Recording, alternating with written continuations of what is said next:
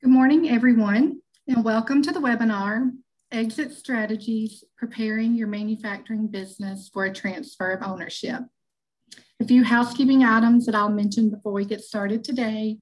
If you have questions during the session, you can type those in the questions section.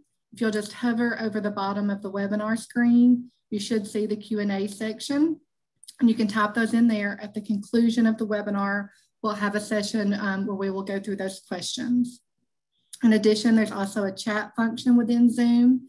Uh, if you hover over the bottom again there, that's one of the other functions there.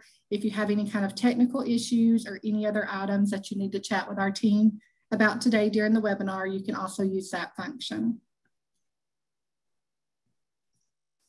Okay, today's webinars will be presented by partners from Carr Riggs and Ingram, as well as CRI Capital Advisors. My name is Kathy Dover, and I'll be your moderator for today. I'm a partner in the Birmingham office of Carr Riggs and Ingram. I have over 18 years of public accounting experience in a range of different industries, including the manufacturing and distribution industry. I provided a variety of services ranging from the standard external audit and tax services to consulting, internal audit, and SOX control testing to clients of all sizes. We're also excited to have with us Paul Evans. Paul is a partner and the Director of Client Relations for our CRI Capital Advisors. He co-founded Genesis Business Group, which merged with CRI in 2010. Paul combines more than 30 years of tried and true business ownership when initially meeting with clients to determine their needs. He has a Bachelor's of Science in Business Management and is a certified value builder. Paul has also been the owner or partner in seven businesses over the last 30 years. Joining Paul will be Brandon Maddox. Brandon is a partner and the director of operations for CRI Capital Advisors. Brandon organizes and oversees every critical detail of a transaction from engagement through the closing. He has a bachelor's of science in business administration and in software engineering. And he is a Series 79 licensed investment banking representative. CRI Capital Advisors is a registered broker dealer with the Securities Exchange Commission. We are members of FINRA and SIPC. The team is comprised of registered investment banking professionals. Okay, to get us started and to learn more about the types of industries that are represented by the participants in today's call, um, we ask that you'll just type in your manufacturing industry in the chat box. Again, you can just hover over the bottom of the screen there and the function should appear. If you'll just click on that chat function and type in the name of the, or the type of industry that you are in uh, so that we have an idea of who all is participating in the call today. Now I'll turn it over to you, Paul, to get us started. Great. Thank you so much, Kathy. Uh, with today's agenda, what we're going to be looking at is, is several facets. Uh, number one is the manufacturing interest. You know, why is M&A interested in manufacturing? And we're going to cover seven reasons for that. Second, we're going to look at market activity, which is always critical from the standpoint of understanding just how active acquisitions mergers are right now. Three, multiple ranges by size of industry. Number four, your exit options. Often we think there's only 100% exit and that's it, but there's several other options available. Number five, the impact of COVID in the manufacturing industries. Number six, the exit timeline. It's not quite as simple as getting out there and selling your business in the next month, as most of you know, but we'll give you the, the typical timeline and what that involves. And then finally, we'll talk about a market value assessment, how to determine the actual value of your company in today's market. We've got a lot of different industries that are represented today. We've got lumber, trading and distribution, fire logs, re refrigeration products, printing, mining, energy, distribution and manufacturing, computer networking, uh, and Gerald Printing we've got as well. So, you know, great that you guys came out. There are a lot of other industries that are represented as well, but that's always an important aspect is just to be able to know that we're meeting the right need and having the right conversation. So let's begin, Kathy, with our first poll question. Okay, great. We're going to start with our first question here. And this question is, where are you in the exit process? So I'm going to get ready to launch this poll question. I'll give you all a few seconds to log your answers there uh, where you are in the exit process.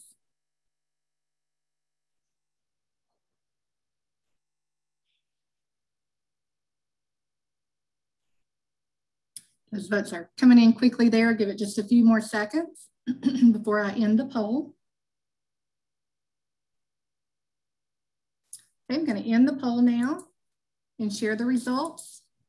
And it looks like the majority, 48%, are in the five plus years out, followed by 21% in one to two years out. You know, that's super helpful because when we're looking at exit, the great thing is, is it doesn't matter if you're a year or two out or five years out. We love to walk alongside companies and business owners uh, so that we're making sure that their needs are met and they're also growing at the right type of value. If you're currently in uh, exit transition or entertaining offers, we're happy to have a call, free consulting call, just to discuss where you are and to make sure that you feel comfortable in the path that you're on. Uh, as we mentioned, we're going to begin with M&A manufacturing interest. This is one of the few industries that regardless of what's going on economically, what's happening in the world at large, it tends to stay fairly strong when it comes to mergers and acquisitions. There's really seven reasons for that. Brandon, lead us through these and why you feel like they're important. Yeah, thanks, Paul. So, you know, as we're, we're looking at interest and and looking at M&A in general, we try to really get into the mind of, of a buyer or an investor and, and try to look at things through their lens and understand what's important important to them. And I would say an overarching theme is going to be risk for a buyer. Um, they they love to buy into industries that they can either understand the risk or control the risk or minimize that risk. So a lot of these will have that common theme. So let's start up at the top left. So historical stability.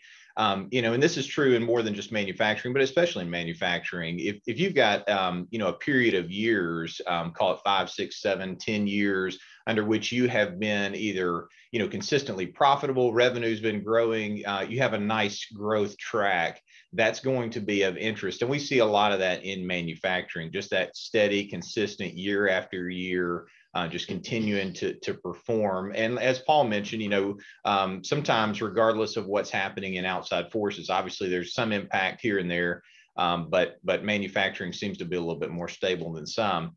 Um, and then just the the uh, the idea of manufacturing as it relates to what you're producing. So anytime you're creating something, anytime you're making something tangible um, that that a buyer can hold, they can understand, um, you're going to get some additional interest there. Um, sometimes with service companies um, uh, that are not, you know, necessarily making an end product, it can be a little bit tougher for a buyer to get their hands around.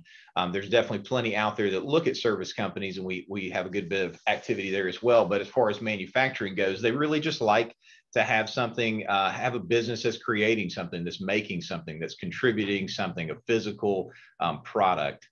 Uh, pivot strength. This this actually goes to a point that Paul will cover a little bit more when we get into the um, discussion on COVID and its impact. But we've seen um, a lot of flexibility when it relates to manufacturing companies. You know, maybe I'm making uh, one product, and that product, for whatever reason, um, you know, goes out of favor or is more expensive to purchase or, or customers are not as interested as they used to be. Um, and, and manufacturers often are able to, to pivot. They, they know how to make things and, and this, you know, maybe the thing that they're making now goes out of style or is, is less profitable than it used to be. Well, I'm, I'm not going to shut down. A lot of times we see them shift into something else, um, you know, really nimble, really light on their feet. Um, and, and that can be of great interest to buyers as well. Um, these next two, non, non-durable and heavy machinery, go to really two sides of the same coin. So non-durable, um, think about products that are um, that are going to wear out, that are going to have to be purchased more than once. Uh, investors and buyers are always interested in that repeat business and that customer that buys from me once and has to come back and do so again later. So very interesting dynamic of some manufacturers there. And on the flip side of that coin is heavy machinery. Think about products or or heavy um, pieces of equipment that, that really get made once and then they get serviced over a period of 50 60 years sometimes with some of this heavy machinery. Um, there's that service element. There's that piece. There's that recurring element that comes in that that yeah, I've got I've got a sale on day one, but over the over the lifetime of that product i get to sell you parts that go into that. I get to sell you um, service that goes along with that. Those are really interesting dynamics from a buyer's perspective. Um, again to the longevity um, you know a lot of manufacturers that we've worked with over the years they've been around for you know 30 40 50 years.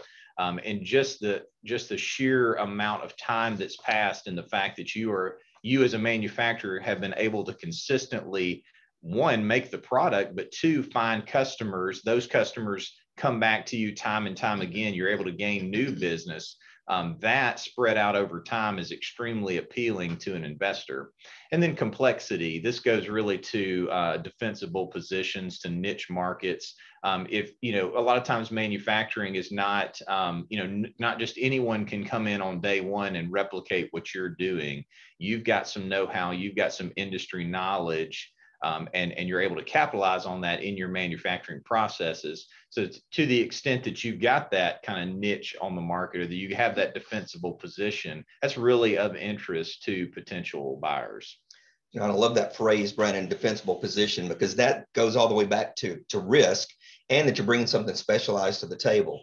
So as you look over these seven attributes, think about the ones that you feel completely aligned with. Maybe historically, not only does manufacturing have a lot of stability, but we talk with a lot of owners who say, you know, I've been in this business 25 years, or maybe it's second or third generation, and you've got that stability through those decades or perhaps over the period of COVID, you had to pivot. And so that becomes part of your narrative as well. So as you look at these seven, you don't have to have all seven, obviously, uh, but if you've got two or three that you feel especially strong in and they are defendable, that's going to put you in a great position when it comes time to sell. When we're looking at market activity, we're really talking about how many transactions are taking place. Is there a down cycle? If we're looking at something along the lines of construction, obviously there are ebbs and flows to that. And if market activity is high, uh, selling and buying is high, then we're able to say, yeah, it's a good time to go to market because there's a lot of activity. Other times, the, the activity can be extremely low and it's not a great time. The great thing about manufacturing is that transactions seem to be happening very regularly. And so I've just listed 20 right here out of over 2,900 transactions that took place in the past year. Now, this includes uh, private companies and also public companies. And when you get into that lane, there's uh, once it's public, then it's going to be able to uh, have the information being made public no matter what. And so when we're using something like this that you see on the screen, this is from PitchBook, and you see company financing status, there's private equity, there's corporate back, that's often called strategic. One of the big moves that we've seen recently is that in the past, if it was strategic, it was just that company that had the resources. But now we're seeing a lot of private equity that is that are backing strategic companies. That's kind of been a shift in what last 10, 15 years, especially, Brandon? Yeah, that's right. You know, so when we're looking at that, it doesn't mean that if you go strategic, it's necessarily just that company. There could be some private equity money behind it. And speaking of private equity money, I think we're up to $1.7 trillion in committed capital. These aren't search funds. They're not those who are having to go out and raise the money once they're wanting to, to have an acquisition, but there's that money that's out there waiting to be deployed. And so when we look at market activity, there's a lot of activity in manufacturing right now. We're not ones to say, hey, now's the time to move because the activity's high. Activity tends to stay fairly, fairly stable, uh, even though there is some ebb and flow. But we're always happy to be a resource for you. You're, you're, more than welcome to contact us and say, hey, what's market activity looking like in this specific industry? We'll hit this again a little bit later when we're talking about uh, multiples, but we need to consider as well when you're thinking about manufacturing, it's very broad. Uh, there are at least resources that we're able to tap into. We can access 194 different reports because they've got that many different segments of manufacturing that they report on. So if you want to know more activity that's happening within your specific industry, we're more than happy uh, to speak with you about that. Now, speaking of multiple ranges, we're looking at this by size because that does have a little bit of an impact. So, Brandon, when it comes to multiples in overall manufacturing, talk to us about this chart and also why size is a factor. Yeah, sure. And you know this this is a lot of information on this chart so let me, let me, break it down just a little bit and and this you know paul mentioned on the previous slide that was a mix of public public and private companies these transactions that are represented here are just private companies. And as you know private companies are not they don't have to report anything. So this is really kind of a self-reporting. So this is not a full um, a full you know measure of all the private companies that were sold in this time frame, but really just the ones who were inclined to report for one reason or another.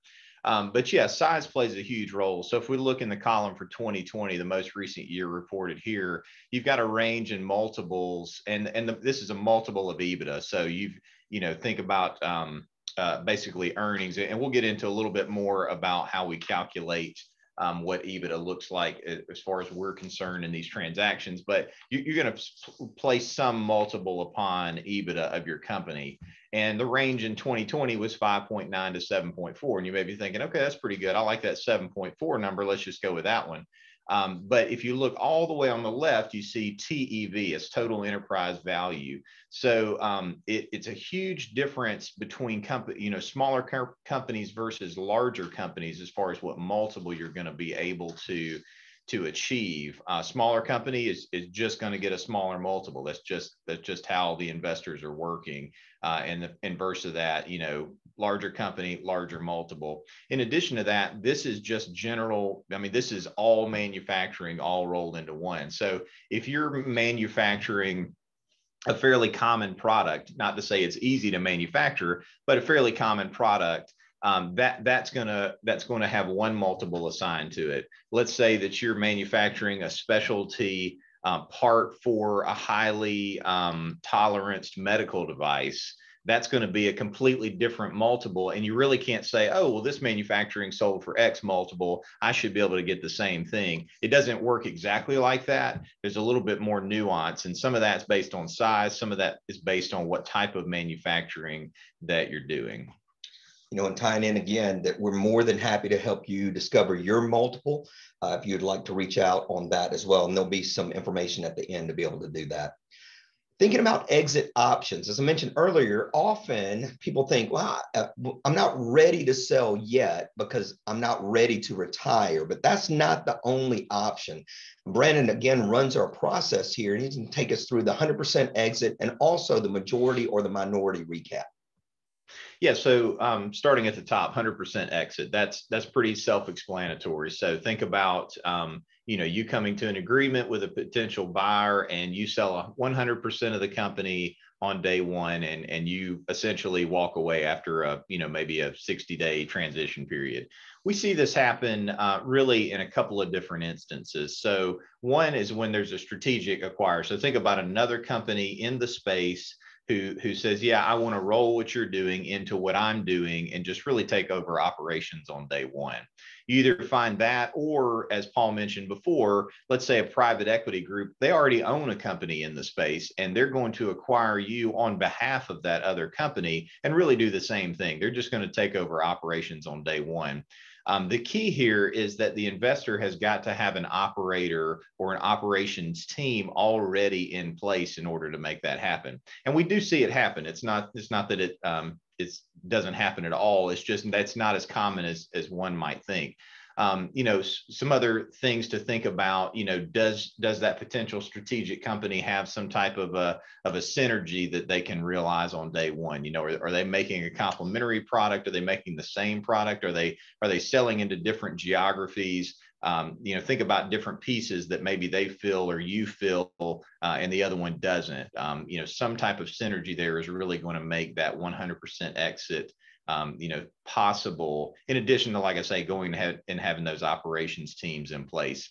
Um, the one that we actually see more of, especially when um, potential sellers, our clients find out about the options, this one actually tends to be a little bit more attractive most of the time, and it's the it's the recap scenario. So basically, how this happens, and it, and it can be majority or minority, it really works the same way majority obviously you're selling the the majority of your company you know uh, 51% plus minority is on the you know the other side of that um, and we've got investors that we work with that that like both sides of that and there's there's reasons for that um, you know, it really just depends on how the fund is set up that they're working from. but the recap piece is interesting. So I'm going to, let's say I sell 60% of my company today and I hold 40% of it.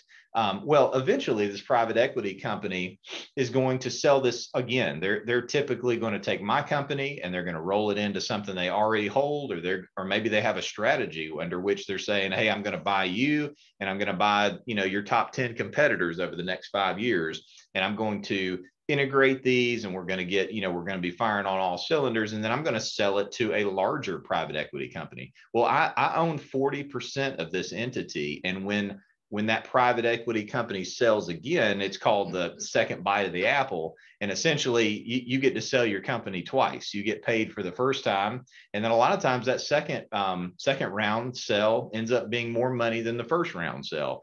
Um, so you know some interesting dynamics at play there um, you know, we see the recap happen a lot with, you know, someone who's looking for a partner. They're not looking necessarily to sell everything. They're just saying, hey, I've gone as far as I can go. I'd really like to find someone else who can help me, you know, expand or grow to a level that I've not been able to by myself um, you know, think advisory board seats after the fact. Um, think about capital, um, you know, money in addition to what's invested to purchase the company. Think about additional money that's available after the fact. So maybe they purchase you for one price, but you've got growth plans. You're saying, hey, I want to expand into this. I want to, I want to also, you know, manufacture this product, or I've got this machinery that's going to help efficiencies you, you, get to do those things on their dime instead of you going you know into debt personally and signing you know notes um, and guarantees on that thing so um, you know an interesting option that, that a lot of people haven't thought about before we had a great success story with this recently uh, one of our clients a young guy and often when it comes to selling an exit people think well it's it's after i'm 65 or 70 or maybe i'm in my 80s this guy was in his mid 40s uh, and felt like he really wanted to expand. All the financial pressure was on him. He was just located in Florida, and he was like, I'd love to go to other states, but I'm just scared to take the financial risk, and I'm not exactly sure how to set things up and expand into these other states. We found a great partner for him. Uh, they were really a great fit, and he was able to exit with a good, good chunk of change, uh, put in his pocket for himself and his family. And within about nine months, he was in eight additional states. And that's what that private equity partner did for him. So if you're in that growth mindset, if you're thinking, you know what, I'm not even close to retirement, I feel like I've got a ton of years left, that may be something for you to consider. If you feel like, you know, I've grown it to X amount, I really believe that it could be why, but I need a partner to help me get there. Something to consider on that front. And the final aspect is legacy. And that could be that you feel like, well, I'm going to leave my my business to my kids, or I've got a great management team. And certainly there's nothing wrong with that. The aspect that you'd want to talk to your advisor about is do you feel 100% confident that if you're looking for a financial exit, if you're looking for your future financially and it's tied to that, then it may be that you want to consider, again, a majority or a minority recap from the standpoint of go ahead and get your money out and allow the company uh, to take the risk instead of you taking that risk. So that's something to consider as well. The impact of COVID. So it's obviously been an interesting year. And some of the things that we've seen in manufacturing, especially, is just massive pivots. Uh, one of the most interesting among, among one of our clients was uh, a gentleman, his team that manufactured food equipment.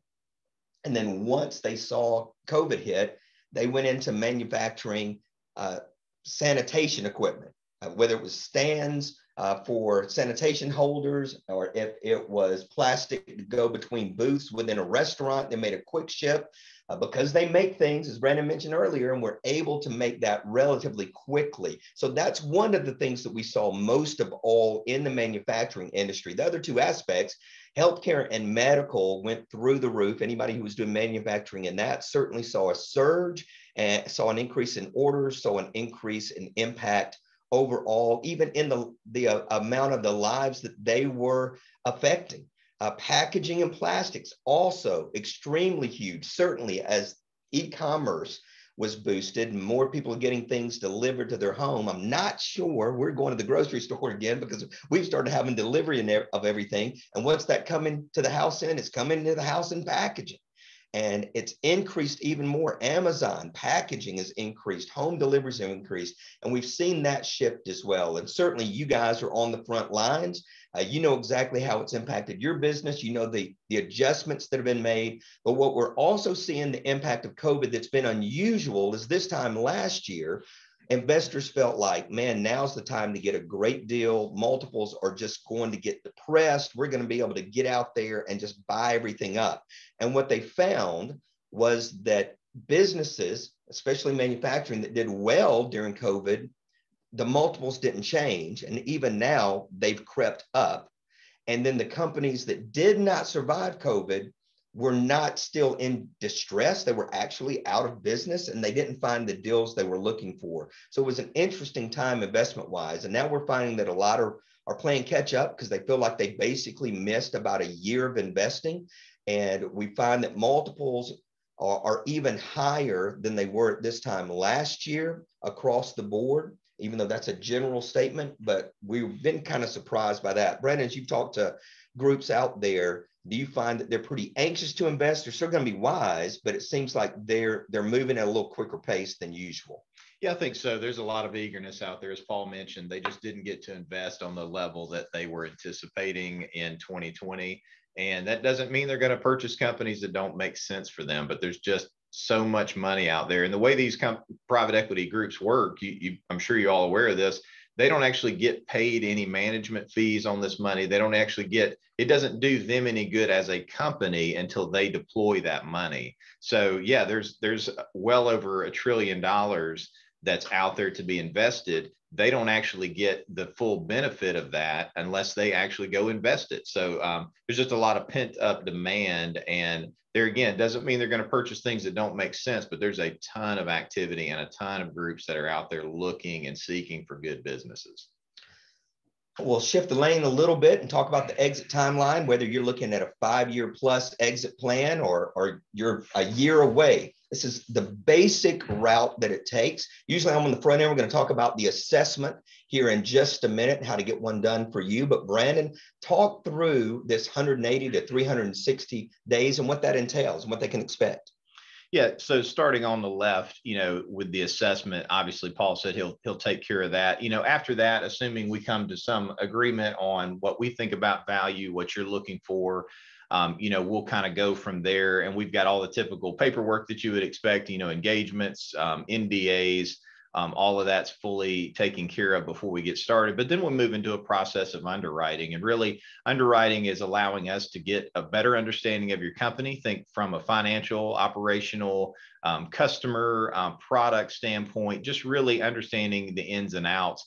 And, and we've done this long enough to know the questions that buyers are going to ask. So we try to get most of those out of the way up front. Um, from there, we'll we'll put together a book. We'll put together a package, and it's really just an overview summary of your company.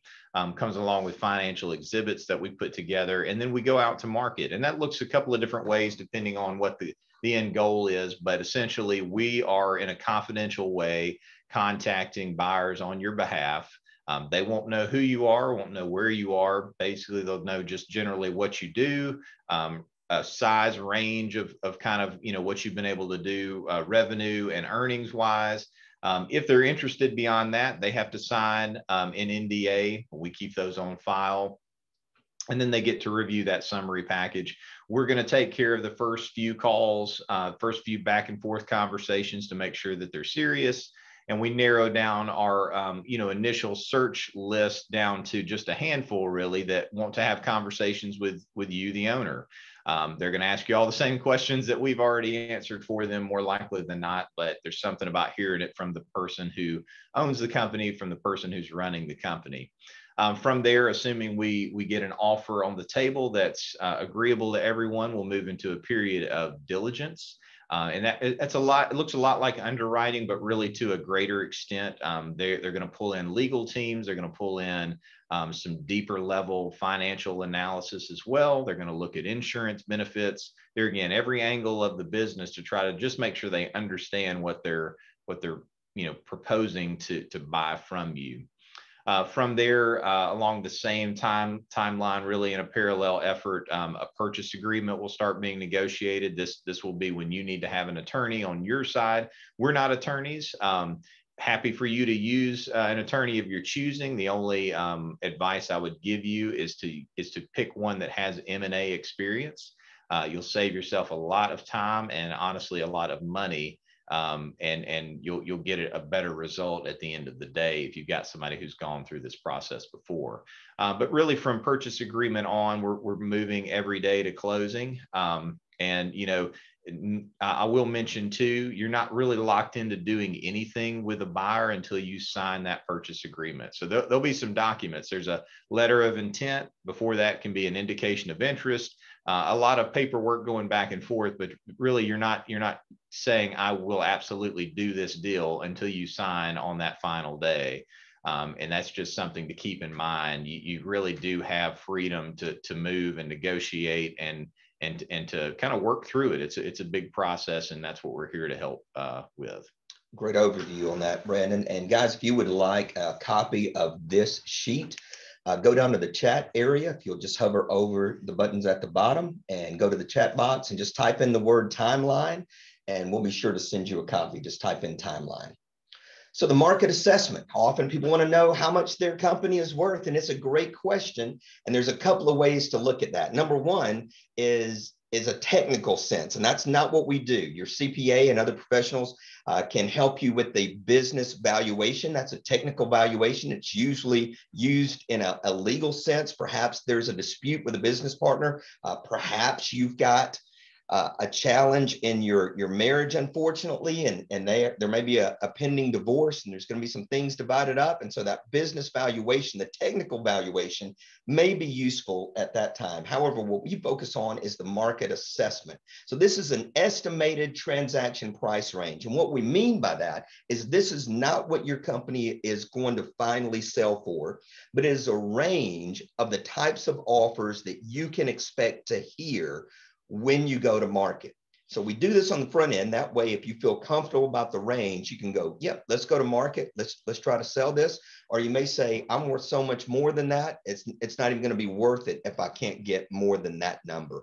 Uh, and we're happy to do uh, an assessment for you. So there's a couple of aspects to this. There's a science side, which Brandon's going to talk about in just a second. That's the the numbers piece.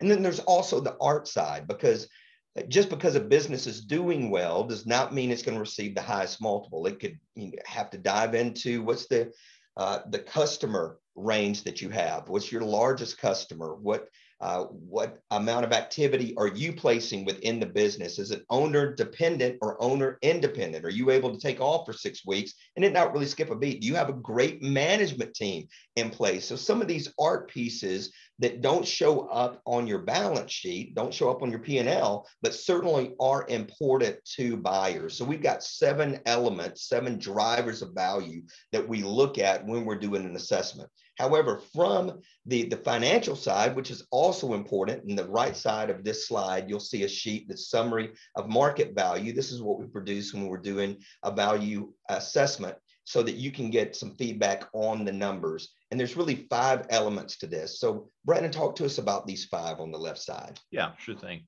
So, you know, we're, we're going to get all of your financials. And a lot of times in manufacturing, um, construction, similar to this as well, you know, we're looking at more of a range um, over a period of years. So let's say that this past year was the best year you've ever had, and it looks unlike anything you've ever done before. Or the opposite. This is the worst year you've ever had. And, and my goodness, you hope you never have another one of those again.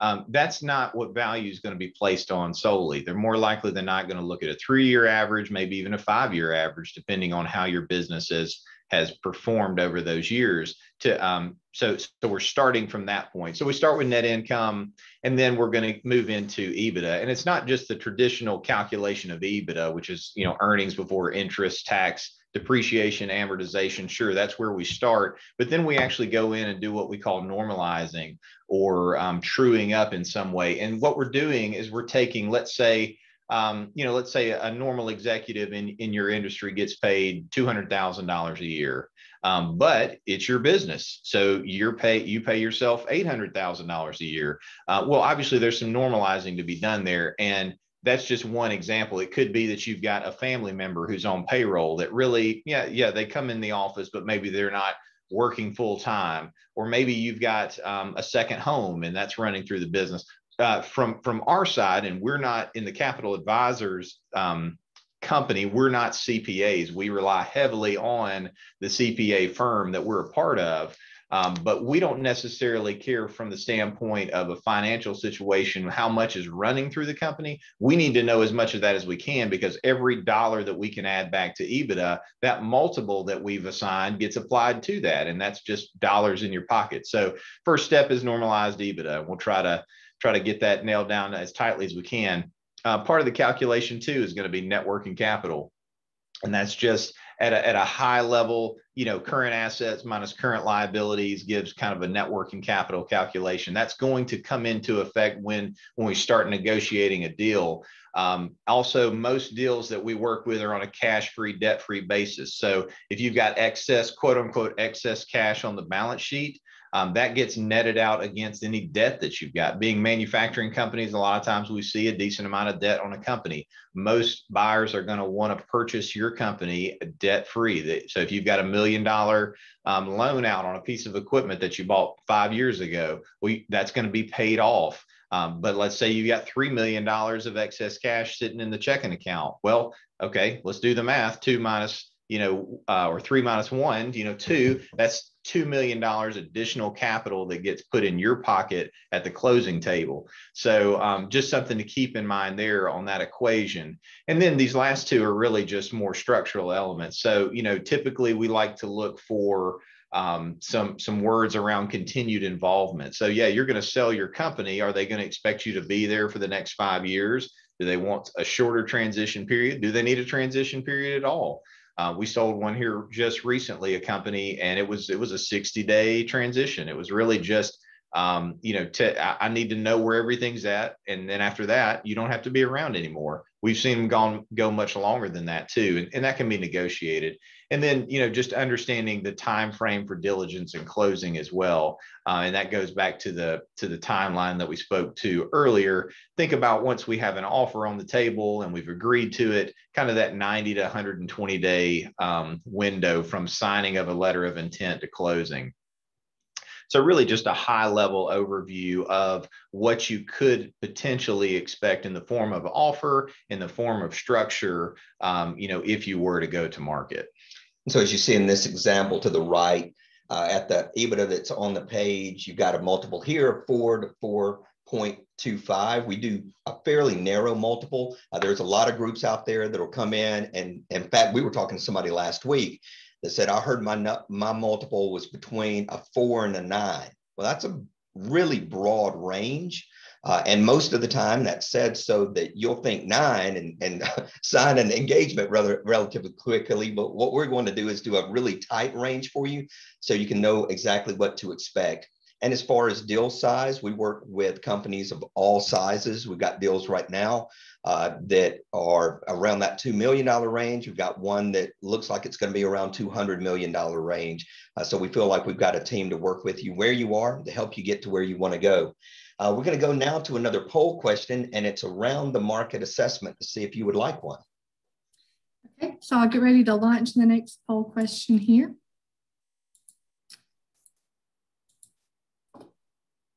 Get that launched. This poll question is, would you like a complimentary market assessment? You can answer yes, maybe in a few months, or I'd like to speak to CRI Capital Advisors about selling. Give everyone a few minutes to log your answers here in this uh, poll question.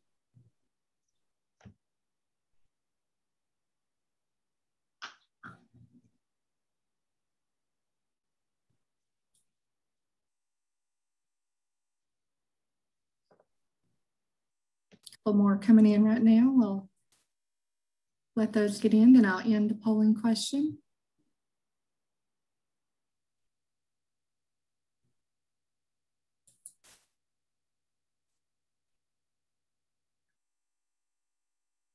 Okay, I'll end that and we will keep those results there. Um, those of you that have said yes, and uh, maybe in a few months, we will log that information. Thank you very much for participating in the poll question. Great, thank you. Uh, if you would also like to go ahead and get your assessment, got a QR code for those of you who are technical. Uh, and we've got the, the uh, instructions right here on the screen. Line up your smartphone camera on your device with a QR code uh, that you want to scan. Hold the device steady until the app reads the code and it'll guide you to the center of your code and then a URL will appear. It'll take you online and there'll be a very brief form to fill out and we'll receive that as well and be able to be in contact with you. I'll give that just a few more seconds to keep that up because this is one of those things, Brandon, you either know how to use or you don't. no doubt. we certainly appreciate everyone who was able to click that and we look forward to serving you and working with you. Uh, so we also want to spend a few minutes taking some questions, Kathy. Okay, great. So if you have any questions, uh, just a reminder, you can type those in the Q&A section there if you hover over the bottom of the screen and I'll get started on those that we have received. Um, can you discuss the net working capital adjustment that buyers may want to make sure that there is sufficient cash and AR left in the business to fund operations for some negotiated period of time? Sure. Yeah, happy to. Um, and this, you know, this is one of those elements that, you know, on the surface seems fairly simple, but when we've just seen it go so many different ways. Um, so yeah, you, are exactly right. So think think about think about it from this angle. Um, a buyer doesn't want to come in on day one and have to uh, put additional capital into a company to let's say make payroll or something like that. Um, they're not looking to win in this calculation, though. They're not looking to extract additional value. So we we typically take the working capital um, calculation and we run that back for a period of months. And we've seen um, you know we've seen three months six months 12 months it, it, just it depends on the buyer and it depends on how the company typically cycles um, so you know at, at, ideally at the closing table it's a break even but typically, how that works is um, if there's an excess of net working capital, that's going to come back to you, the seller. If there's a deficiency there, then additional monies are going to go over to the buyer. But at the end of the day, if, if we've done our homework, um, then then that that's going to essentially net out to to zero. Um, hope that hope that answers. It's a fairly complex question. I'm happy to to have a kind of a separate call on that as well if if you want. Okay, great. Um, what are the pros and cons of using an M&A firm that specializes in your industry? That's another great question. And there are pros and cons. The pro side, obviously, is they know the space extremely well. They're going to know a lot of the value propositions and feel that because they intricately know the industry, that they're going to be able to place it well. They're going to know who the players are uh, so that they can approach them.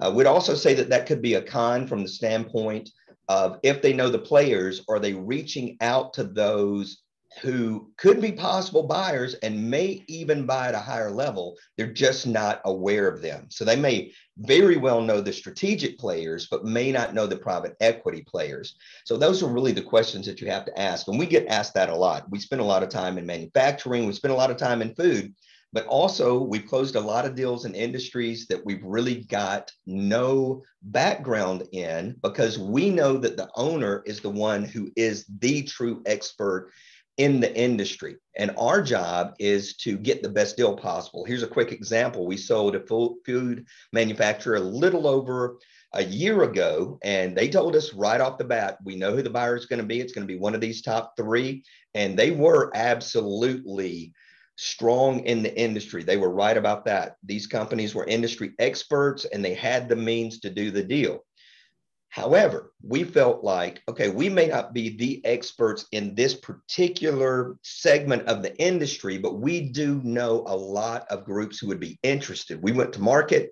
Turns out that those three that they felt really were the buyers weren't even in the top 10. And ultimately, uh, the buyer was a group that they'd never heard of, and they outperformed everybody else by, I think, a multiple, maybe 1.5. Mm-hmm. Does that sound about right, Brandon? Yeah. So that was really interesting. So there are a lot of pros from the standpoint of they really do know the industry well. The con could be they may be relying too much on previous knowledge and not doing a lot of work from scratch to make sure they're bringing the best buyer. Great. Um, another question that's come in, uh, do you see a major difference between special purpose acquisition companies and private equity buyers? Yeah, that's a great question again. So, you, I mean, y'all, y'all are just knocking them out of the park here. good. Um, no, so we, you know, we see a lot of activity from a news standpoint on SPACs.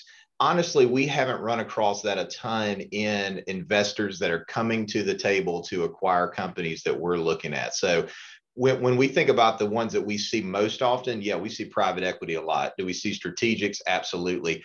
Quite honestly, what we're seeing more of than what we've seen in the past are family offices. And, and family offices are really just um, think high net worth individuals, high net worth families who have money just essentially sitting around, and they have hired ex private equity um, in uh, professionals to come in and manage their money. And part of that strategy is to purchase companies because there's such um, there's such an amazing return that can be had um, through through that whole mechanism. So yeah, um, I, I, think one day we'll probably run into those more, but quite honestly, they're just not that active in, in the in the spaces that we're looking at right now. Think private equity, uh, definitely think family offices, especially. We're seeing a huge uptick uh, in family office activity over the past few years. Okay, that's great. Um, so if you have an, an industry strategic buyer, um, are you able to drive up the price by using a private equity company who might be interested? Very good observation. That's exactly right. We've got a client actually just signed an engagement yesterday that was adamant. We do not want to sell to private equity. And we were of the mindset, but if they're at the table making an offer, it can make a big difference. And that happened in a transaction a couple of years ago where there were rights of first refusal on the line. The, the franchisor came to the table and uh, made an offer that we felt like was significantly lower than what it should have been. And then we went out and Brandon, tell us a little bit about what we did in that process and how private equity ended up driving it up. Yeah, absolutely. We, we so this is in the um, in the QSR uh, quick service restaurant space, which we've done several deals in that space as well. Um, but yeah, the, so the franchise um, or uh, was interested, made an offer, wasn't a particularly great one. We we said, okay, well we're going to market, and we went out to market, found an extremely active um, private equity group, um, made a just stellar offer and we we we were thinking internally, no chance the franchisor comes back and takes this. I mean, they had the right of first refusal; it was theirs to to not purchase, and they come in, they came in and said, okay, yeah, we'll do that. Well, outside of us running that process, outside of us having that competitive nature in the process, the, I mean, just leaving tons of money on the table. Um, you know, that in the absence of a, of a competitive process, a buyer is just going to have their way every single time. If they've got some competition, it's amazing uh, how quickly they can find money that before they said was not there.